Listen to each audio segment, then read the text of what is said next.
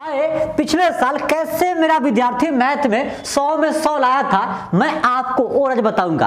Copy कैसे लिखना है, ये इंपॉर्टेंट नहीं है। कॉपी कैसे नहीं लिखना है, ये इंपॉर्टेंट है। कॉपी लिखने महाराज तो आपको भी नहीं आता है। इसी कारण तो पिछले साल आपका मैथ में नंबर कम मैथ में 100 में 100 तभी आएगा, जब आपका ऑब्जेक्टिव में पचास में पचास आएगा।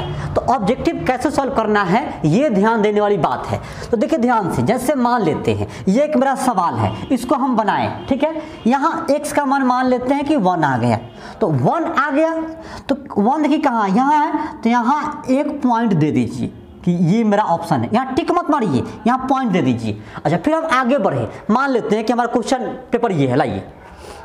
मान लेते हैं कि हम आगे बढ़े, कोई सवाल ऐसा है जो बनने वाला है, लेकिन उसका कैलकुलेशन बहुत लंबा है। तो वहाँ भी क्या कीजिए आप? बुनका पॉइंट दे दीजिए।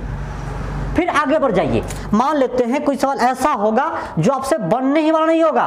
तो वहाँ ऐसे कटिंग चीन दे दीजिए कि बेटा तू हमसे नहीं बन पाएगा। ठीक है?